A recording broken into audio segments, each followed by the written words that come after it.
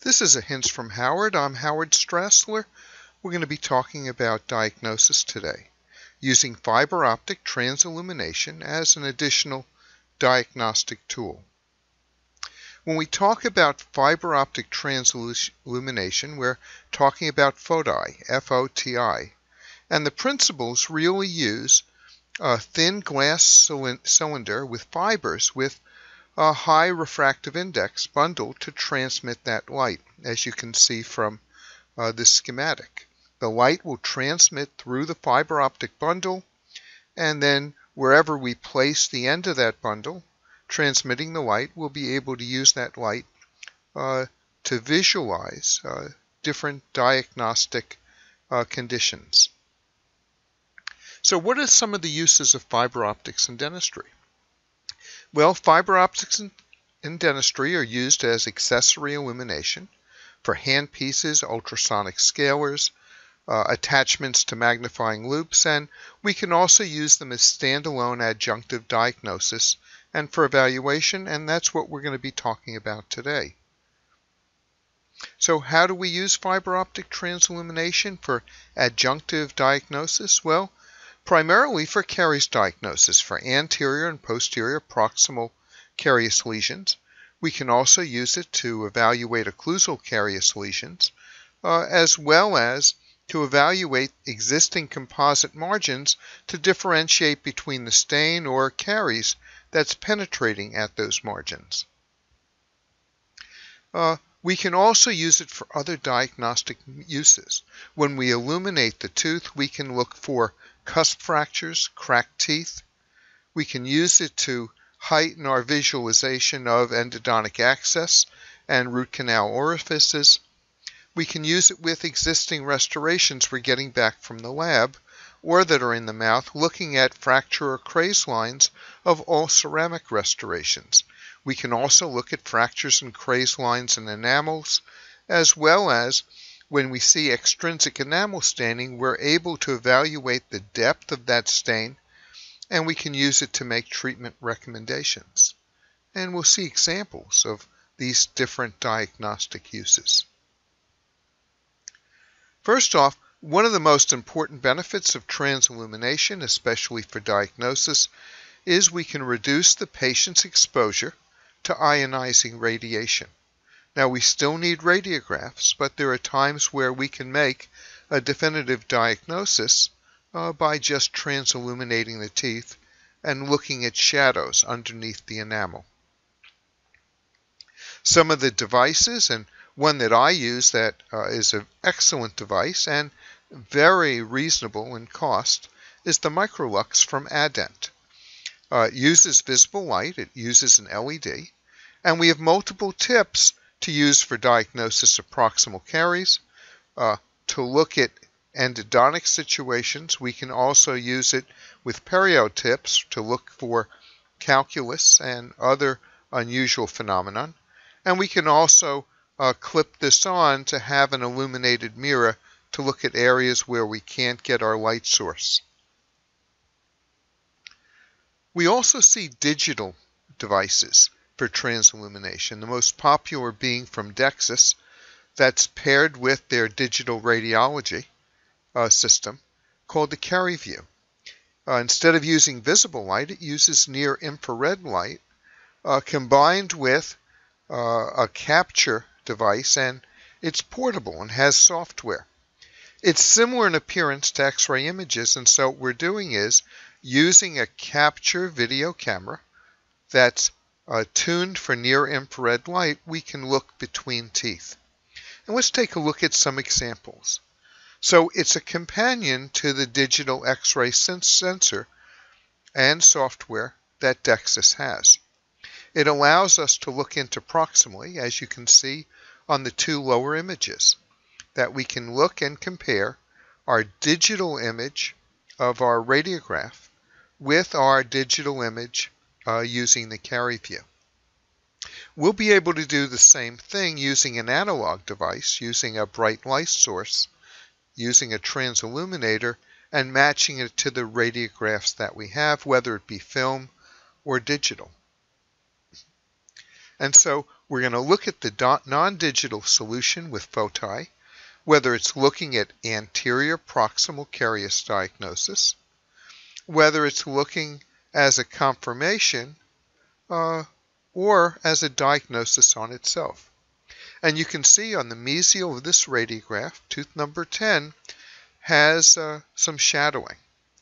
When we take a transilluminator and illuminate the tooth, we can then compare our radiograph to the transillumination, the physical image that we're seeing in our reflected mirror image. So clinically verifying what we see radiographically. And here you can see that verification on the mesial number 10. Uh, but also take a look at the distal number 10 and we can go to that area also. Even though it doesn't show up significantly on the radiograph, uh, the transilluminator may show it up more significantly and help us make our differential diagnosis and how we're going to decide to proceed with treatment. We can also use tips to look at posterior teeth, at interproximal lesions and occlusal lesions. We have for the posterior a choice of illumination tips from just the illuminator tip or a fiber optic that can be placed uh, interproximally between the thin area of the teeth. So here we're looking at using the uh, straight on uh, regular tip. We're looking at the distal of number 20. Clinically, we don't see any evidence. Radiographically, we see evidence. And in fact, when we transilluminate on the uh, distal of number 20, we can see actually what our expectation is for the progression. And you can see clinically the progression is going to be significantly deeper than what we see on the radiograph. We can also use this thin single fiber optic bundle tip for looking interproximally. Here we're looking interproximally on the distal in number 5. When we transilluminate the distal uh, of number uh, 5, what we can see is not just the radiographic extent, but confirm it with how clinically it'll be extending. And you can see that it's a significant lesion. Uh, that's extending into the dentin. We can also use these lights, bright lights, our fiber optic transillumination, our FOTI, to evaluate enamel dysplasia fluorosis, to look at the depth of discoloration, the degree of opacity. It'll help us make the decision whether the aesthetic uh, modification will be composite or porcelain veneers or whether we can use uh, uh, some means of mic micro or macro abrasion to remove that superficial layer of enamel. If the enamel has very deep opaque white stain, stains, this transillumination will show us that it's a deeper stain and in fact a restorative solution is better than the minimally invasive uh, macro and micro abrasion solution. Uh, we can also look at incomplete tooth fractures. Uh, using a Tooth Slooth, uh, the patient is uh, giving us uh, information that prov provides us with, for this uh, molar with an occlusal composite, that the patient's having pain upon biting on this uh, distal lingual cusp. When we transilluminate the tooth, we can see the fracture lines on the lingual surface. we can also visualize internal fractures of the tooth in this case, for this occlusal restoration that we've removed, the patient's having pain with the tooth. When we transilluminate, we can see the fracture running across uh, the distal portion of the lingual and the mesial portion of the lingual to include the, uh, the uh, floor of the cavity preparation. On the bottom images, we can see a similar phenomenon for this MOD preparation. It'll help us make a decision if we're going to place a crown with a core uh, or whether we're going to do a CAD-CAM uh, onlay restoration for that tooth. Another use is visualizing endodontic access and root canal orifices. While microscopes have become very, very popular uh, in the uh, treatment of uh, endodontic pathologies, uh, using a transillumination light it'll help us see even better within those canals to find difficult canals like the mesial buccal second canal on a maxillary first molar. So fiber optic transillumination has many different uses.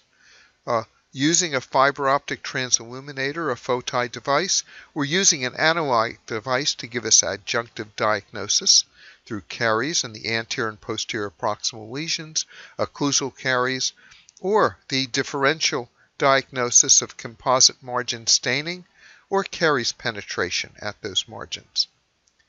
We also know fiber optic transilluminators have uh, diagnostic uses in evaluating cusp fractures, cracked teeth, illuminating endodontic access and root canal orifices, evaluating craze lines and all ceramic restorations, as well as craze lines of the enamel.